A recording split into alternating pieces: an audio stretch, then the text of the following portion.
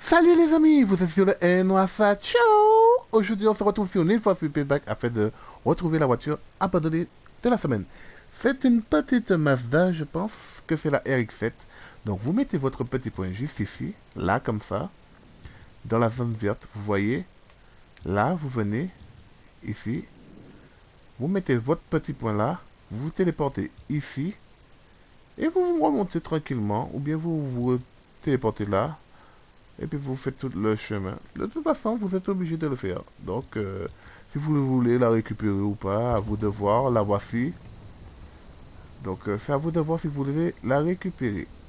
Sur ce, je vous laisse. On se capte. Je vous laisse aller la récupérer. On se capte dans une prochaine vidéo pour la récupération de cette petite voiture. Je vous laisse. Allez.